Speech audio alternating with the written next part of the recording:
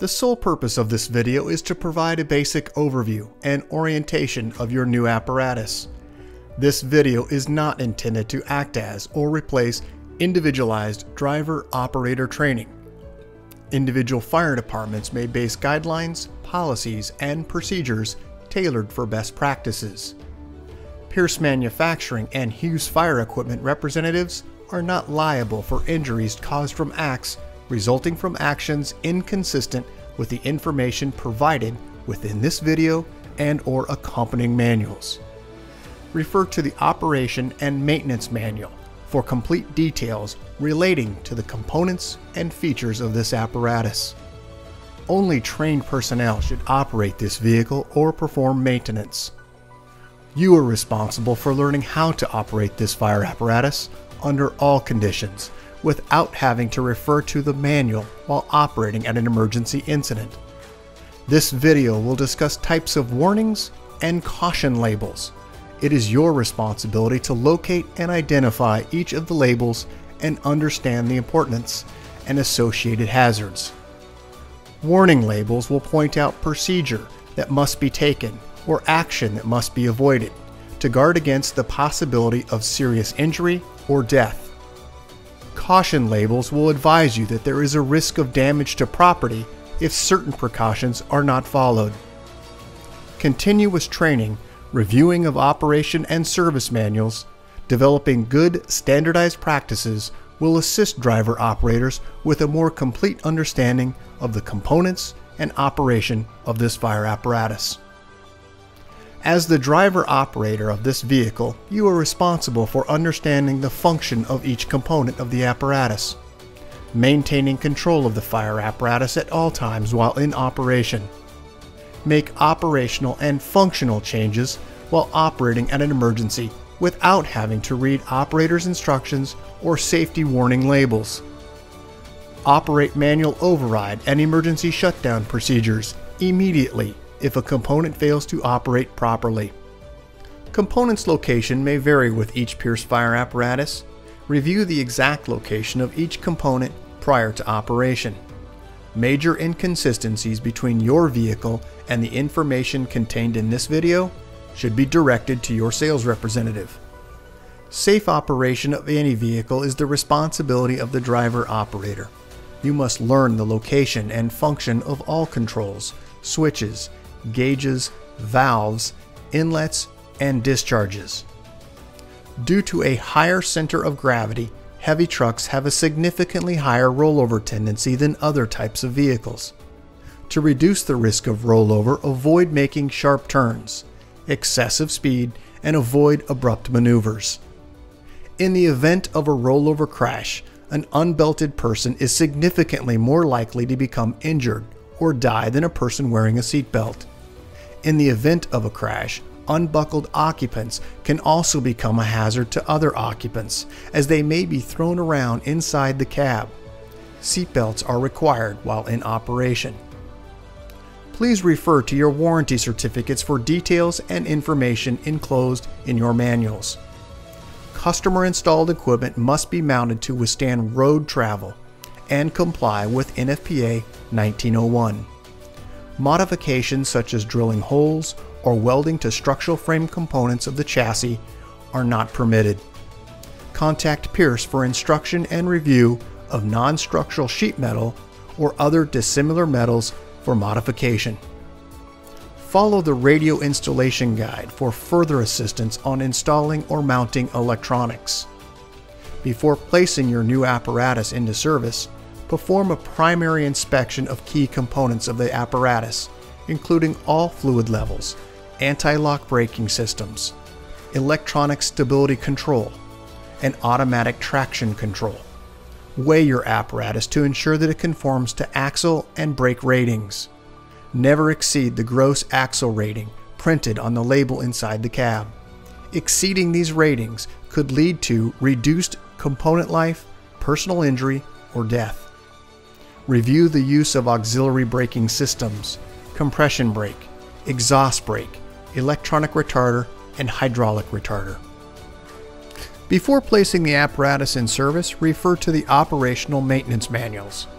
Information on the operation and maintenance functions for the components such as the pump, pressure governor, and foam systems along with other options is provided in either the Pierce manuals and or other manufacturer support information delivered with the apparatus.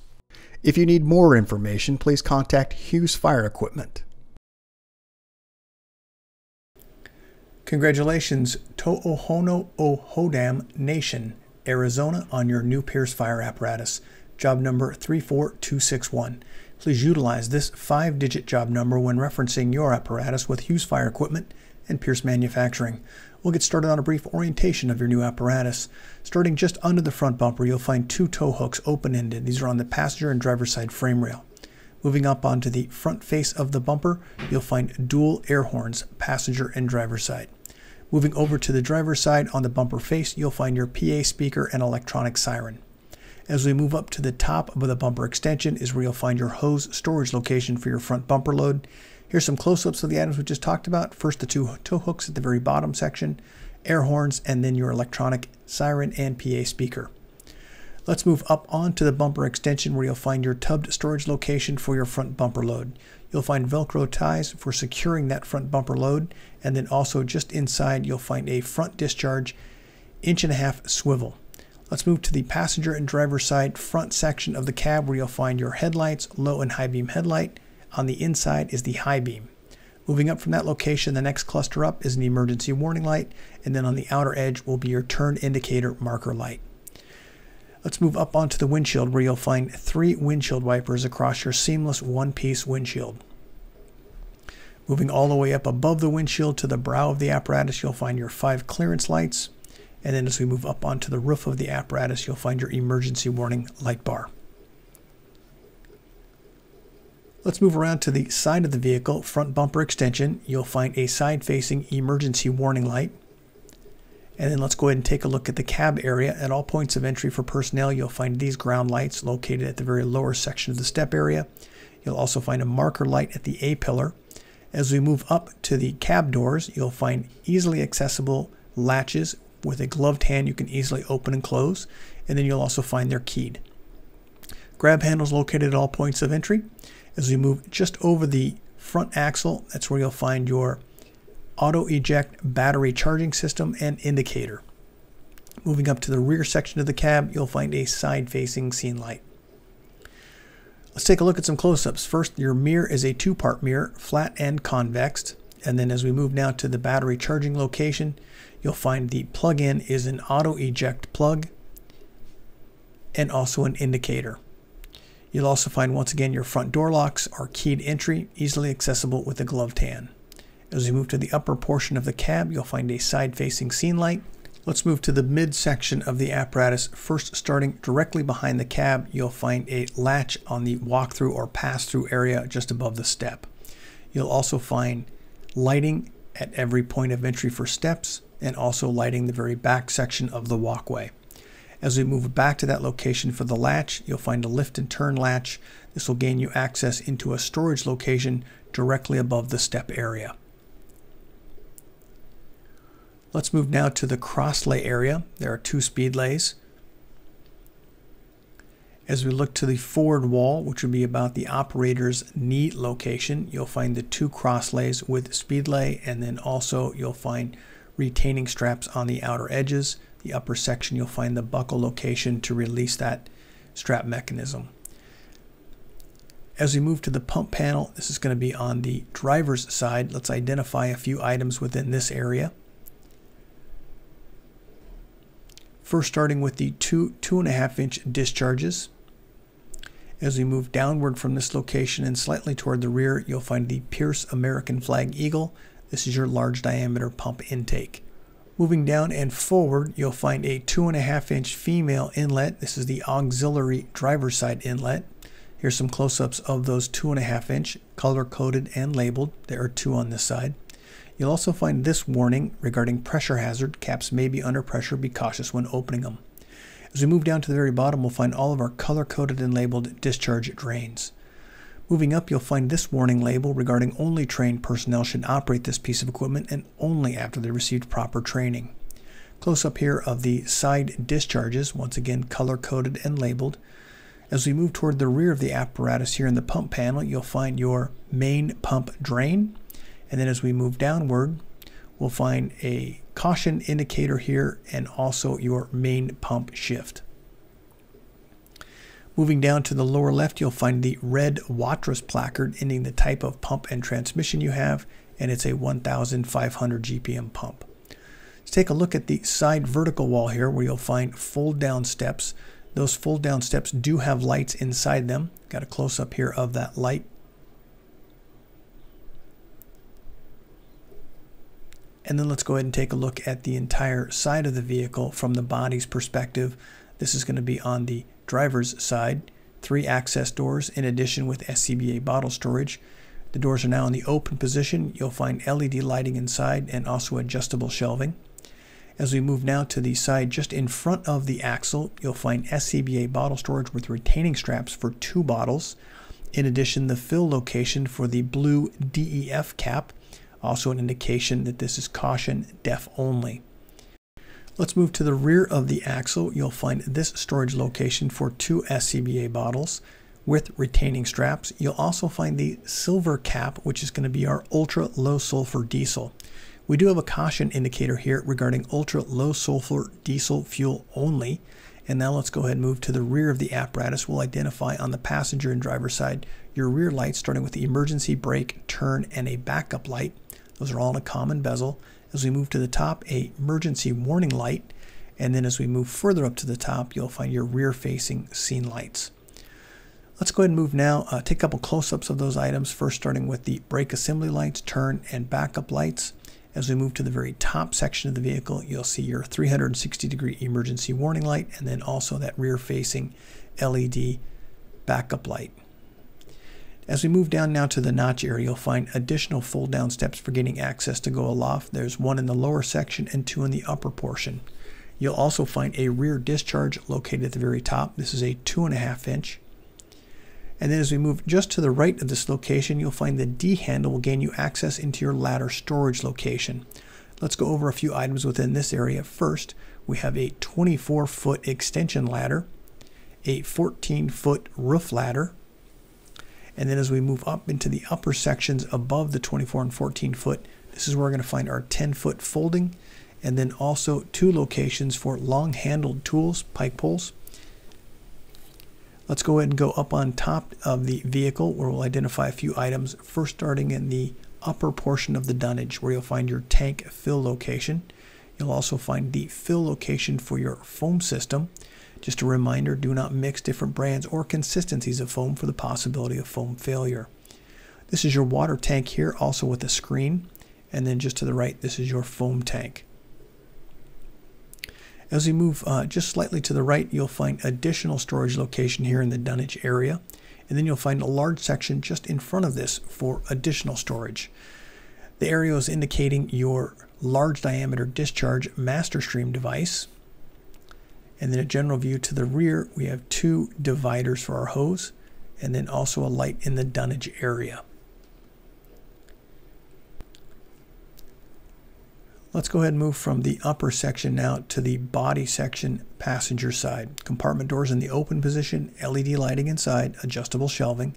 As we move to the rear axle, you'll find SCBA bottle storage for three SCBA bottles with retaining straps. In front of the axle, three SCBA bottle storage locations, once again with retaining straps. I'd also like to point out the marker light in the lower section. Extremely hot diesel exhaust temperatures. This is your exhaust in front of the axle. Be cautious where you park your vehicle, especially during regen operations. Let's move now to the pump panel area on the passenger side.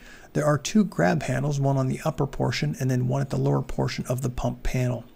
Let's go ahead and identify a few items within the pump panel area. First, starting with this pan door, a lift and turn latch will gain you access into the pump panel area for visualization. Also to the right, you'll find your cab lift. We'll go over those. First, there is caution and danger information regarding the operation of this. There's also instructions to raise the cab and also to lower the cab. On the left is the protected switch for raise and lower, and in the upper right hand corner, you'll find your activate switch. Just as a reminder, please make sure all items are secured with inside the cab before operation. As we move downward from this location, you'll find the 2.5 inch passenger side discharge. And then moving further down, we'll find the large diameter passenger side discharge. Just beneath that, you'll find a warning label here regarding pressure hazard.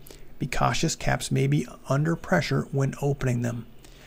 As we move downward and slightly to the left, we have an additional pan door here for gaining access behind the pump panel. We'll identify its contacts next. You'll also find the Pierce American Flag Eagle. This is going to be your large diameter pump intake.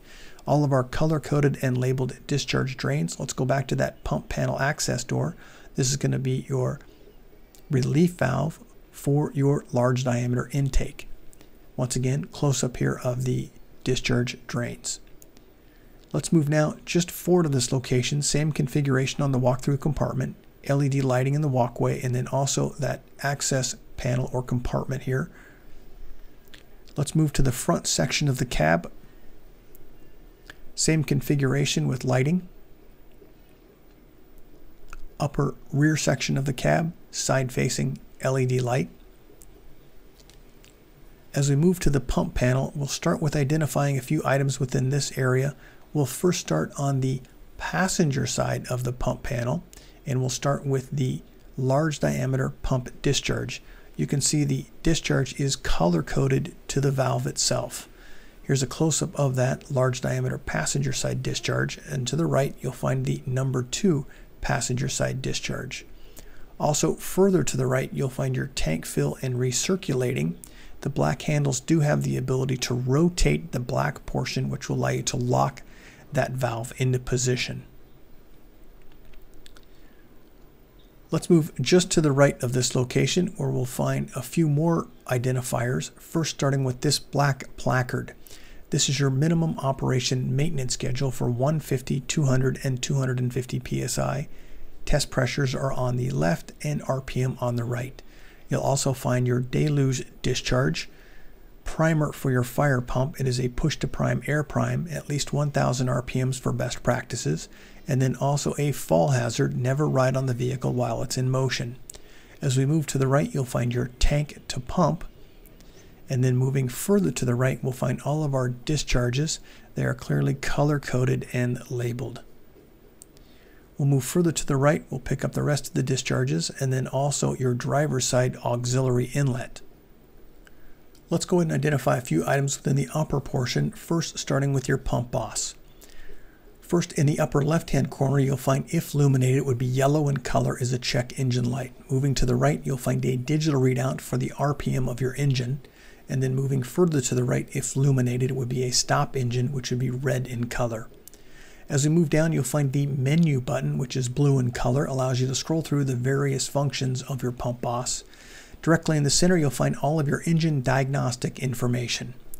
As we move further to the right, you'll find a red silence button. This allows you to silence any audible alarms that may be sounding from the pump boss. As we move down, you have two options, either pressure or RPM throttle mode. Those are the two selectors for that. In the center, you'll find a digital readout and menu information. And then to the right, you'll find a throttle ready indicator. Just beneath that, if you choose to identify having presets for pressure or throttle, this is the green preset button. As we move down to the lower left, you'll find in the very center is the idle position, push in the center to move the vehicle to idle, right to increase, left to decrease on the throttle, and all the way to the right, this is your audible alarm. That's the speaker. Moving further to the right, you'll find panel lights and also an indicator for your pump engaged. It's a green light. As we move to the left, you'll find your engine cooler. This is a twist, not a pull. Moving to the right, you'll find a water tank level indicator from full, three quarter, half, quarter, and refill red. Moving to the gray area here, you'll find your master intake gauge, and then to the right, you'll find your master discharge gauge. In between the two of those, you're going to find your test gauge ports for vacuum and pressure. They are currently plugged and those are for testing purposes. Let's go ahead and move back to the front cab area, driver's area. First, starting with the door panel, we'll find all of our safety and warning information placards attached to the door panel.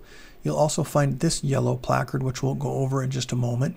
Let's go over the caution, warning, and also hazard information. These are the placards located on each of the door panels. As we move to the manufactured by Pierce for your department, we have the date of manufacture, five digit job number, gross vehicle weight rating, cold tire inflation. We also have VIN number, fluid capacities for the components, and fluid to capacity types. As we move inside the cab area to the operator seat, you'll find this is an air ride seat. This is an air ride function here on the left. And as we move to the very rear section, you'll find the control mechanism to move the seat front to back. You'll also find the ability to tilt the backrest forward and also backwards. As we move to the steering column, let's start down in the lower left-hand corner about the left knee of the operator, starting with our master battery switch. It is the silver on and off switch. You'll also find your engine, transmission, and J1939 diagnostic port for your maintenance crew, and then also some switches down at the very bottom section, which we'll go over next. This is going to be your ABS diagnostics, DPF regen, engine diagnostics, and regen inhibit. The two switches I like to point out are the DPF regen and regen inhibit. Please see your owner's manual for those operations. Let's move just to the right of the steering column where you'll find your pump shift. There are instructions here from road to pump and then also from pump to road. The center selector requires you to lift the yellow section and then engage the downward position to move into the road into the pump position. On the left, you'll find two green indicators, pump engaged and OK to pump. You'll need both of those indicators illuminating before exiting the cab. To the right, you'll find your main mirror and also convex mirror controls. General view here of the front section of the dash. Let's start first on the left-hand side with the start and ignition switch on the left. As we move just to the right, you'll find a switch labeled EM, which stands for Emergency Master that will engage and also disengage all of your emergency lights simply by one push button. To the right, you'll find your parking lights and also headlights. And then further to the right, you'll find a panel switch allowing you to brighten or dim the lights within preview of the operator. As we move to the dash, you'll find your transmission oil, DEF level, and water temp on the left. To the right, you'll find front and rear air, volts, and fuel. Located in the center is your tachometer and speedometer, Diagnostic information will display above and also below the speedometer. Here's an indication when your battery is first turned on and the ignition. It will prove out all of the functions here. And as we move just to the right, I'd like to identify at the very top section. This is your PA and siren. Moving downward, we've got a bank of switches. We'll go over those in just a moment. You'll also find your parking brake. And then to the right, your Allison transmission pad. Let's go ahead and identify a few of those switches here, starting on the left-hand side with the engine brake. This is going to be an on and off switch. To the right, you'll find a settings for that engine brake for low, medium, and high. You have a selector for siren or horn. Same thing, air horn or electric horn, mirror heat, and also load manager. Moving further to the right, you'll find a rotational knob that is for your windshield wipers, push to apply fluid. You'll find your heat and defrost and also AC controls directly in front. And then you'll also find overhead all of your control switches for your emergency lights. We'll go over those next, starting on the left with your emergency master, roof light, front warning, side warning, lower rear warning, and upper rear warning. When any of these switches have been engaged, the indicator will illuminate indicating that the switch is active. Let's move just to the right on the same plane as we're on now. First starting with a driver's scene and also passenger scene. There are also future switch locations if you need. Your unit radio, I would like to point out in the very center is a round circular light indicating that you have a compartment door open or ajar and not to move your apparatus. Seatbelt information, red indicating someone is in the seat and not belted, green indicating they're in the seat and belted. Moving to the very rear, you'll find two seats located in the very rear wall with SCBAs. You'll also find two rear-facing seats. This is a quick picture here of your AC in the very front section. As we move to the rear of the apparatus, between the two rear-facing seats, you'll find this door. This is your access for your daily checks for oil and transmission. As we look to the rear section, just below those seats, you'll find your heater and then as we move, uh, just a general view of uh, the SCBA seat here on the driver's and passenger side.